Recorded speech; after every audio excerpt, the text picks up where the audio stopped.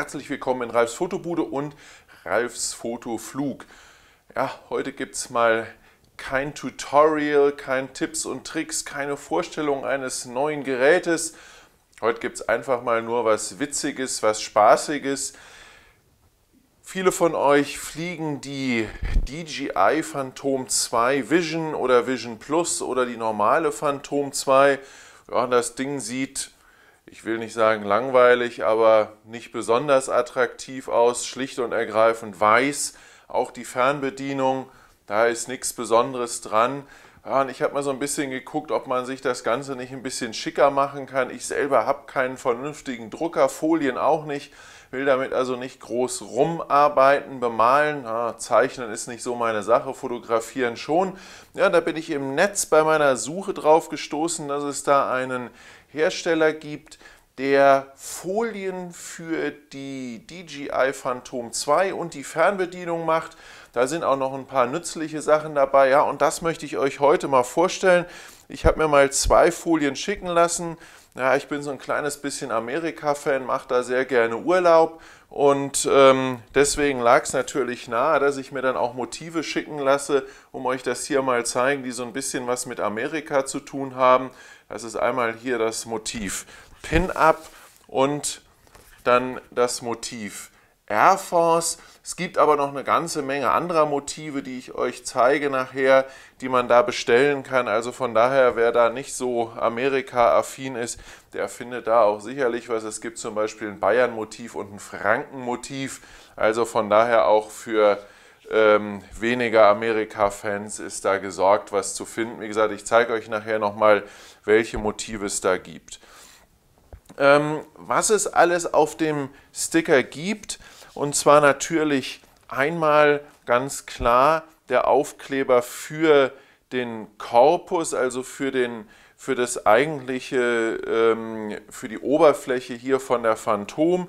Dann hier eben auch einmal die beiden Aufkleber, die normalerweise rot sind oder blau oder welche Farbe ihr auch da immer gewählt habt. Ja, dann geht es hier drüben weiter mit, ein Stück rüberschieben, dann geht es hier drüben weiter mit dem Aufkleber für die Fernbedienung On-Off. Hier oben seht ihr schon, da ist einmal für die Umschaltung IOC Off, Course und Home Lock. Dann gibt es hier für die andere Seite des äh, den, äh, für den Schalter S1 gibt es GPS ATI Failsafe oder GPS ATI Manual, jeweils in zwei Farben. Ähm, ja, und wer, ich sag mal, Einsteiger ist und sich immer noch nicht so ganz sicher ist, für was was ist, da gibt es dann hier einmal die Aufkleber, ich drehe das einmal rum, da gibt es dann hier einmal die Aufkleber für die beiden Steuerknüppel, mit Drehen links, Drehen rechts, vorwärts, rückwärts, Rollen rechts, Rollen links. Die kann man dann also hier einmal in die, äh, in die, ja, wie nennt man das hier, in die Aussparung reinkleben. Interessant finde ich, oder das finde ich eine sehr schöne Sache, ist ähm, die Liste hier mit den Blinkzeichen. Da gibt es also einmal für den Phantom-Mode die Blinkzeichen in Deutsch und Englisch und natürlich auch für den NASA-Mode in Deutsch und Englisch. Das heißt, hier wird mir dann also gezeigt, welche Leuchtsignale was signalisieren. Das heißt, wenn ich das mal vergessen habe, dann äh, kann ich da schnell auf die Rückseite der Fernbedienung gucken, denn dieses Ding hat genau die Größe, damit ich mir das hier hinten auf das Batteriefach draufkleben kann und sie eben einmal gucken kann, aha, das bedeutet das, das bedeutet das und so eine sehr gute Übersicht habe. Ja, das sind eigentlich so die wichtigsten Sachen.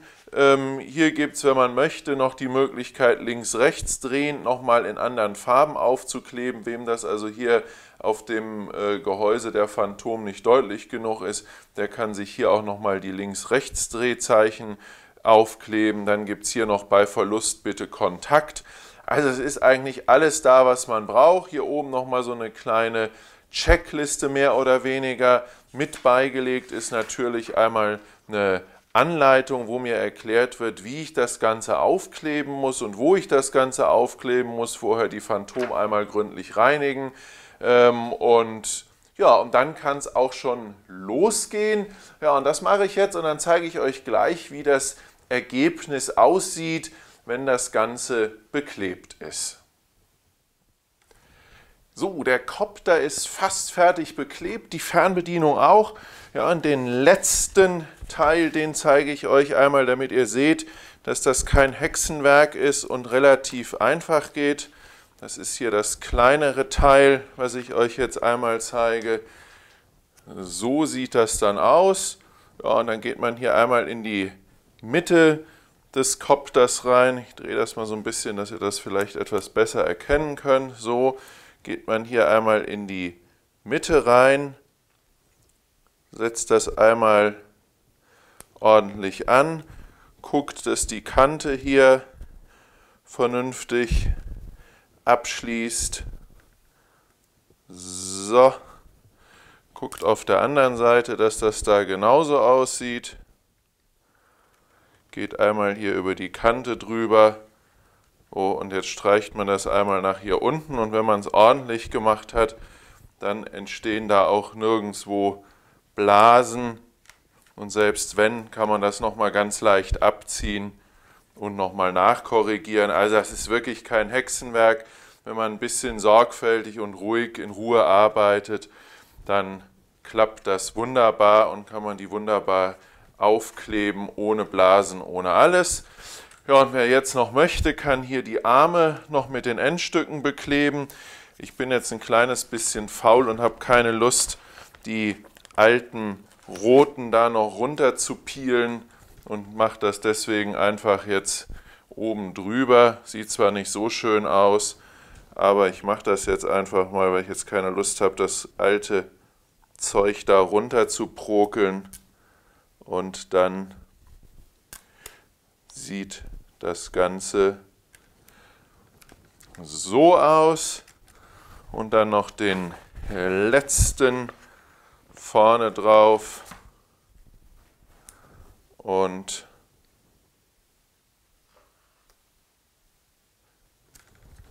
das war's. Fertig. So sieht das Ganze dann aus. Ich finde, das sieht klasse aus. Sieht, mir macht das sehr viel Spaß.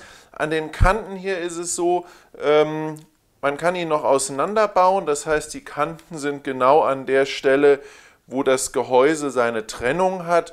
Natürlich wieder ganz klar, hier an den Stellen muss man wie gehabt einmal mit dem Messer aufschneiden, aber ansonsten die Kanten hier unten, die sind wirklich genau da, wo der Kopter seine äh, Trennung hat. Das heißt, da muss man nichts machen oder muss das nicht irgendwie wieder abziehen.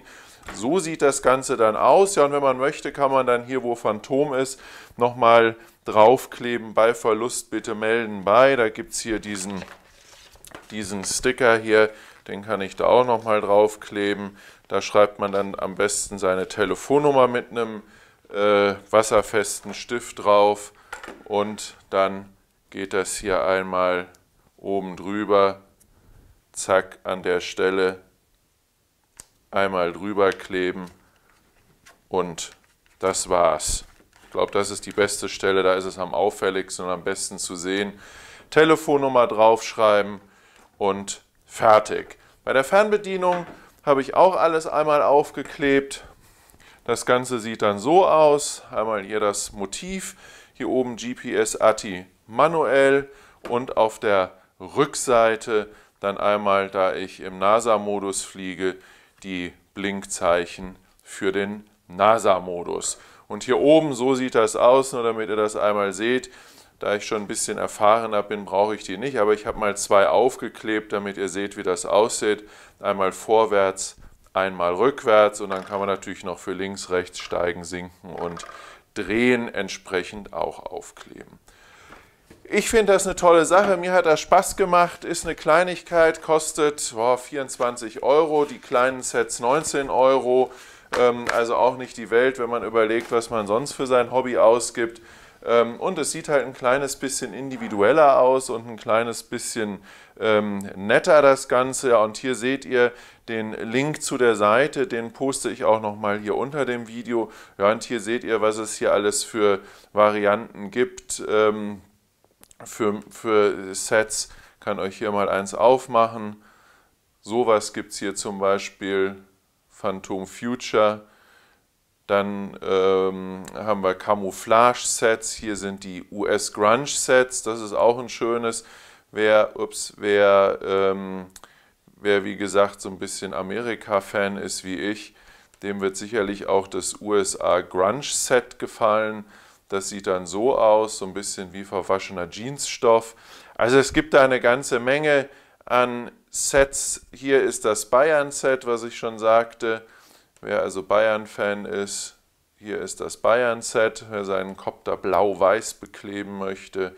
Da kommen auch im Laufe der Zeit noch immer mehr Sets dazu. Ähm, und von daher, also hier auch finde ich ganz nett das Totenkopf-Set. Sieht auch sehr individuell aus. Also von daher, da gibt es eine ganze Menge an Auswahl. Wie gesagt, die Adresse zum Bestellen, die poste ich hier einmal unter dem Video. Ja, und ansonsten wünsche ich euch viel Spaß damit. Viel Spaß natürlich beim Fliegen. Das war's für heute. Kurze, knappe Geschichte, ein bisschen was zum Design von der Phantom 2, zum Aufhübschen, Aufbessern. Ich wünsche euch viel Spaß beim Fliegen und wie gehabt, bis zum nächsten Mal. Tschüss und moin moin.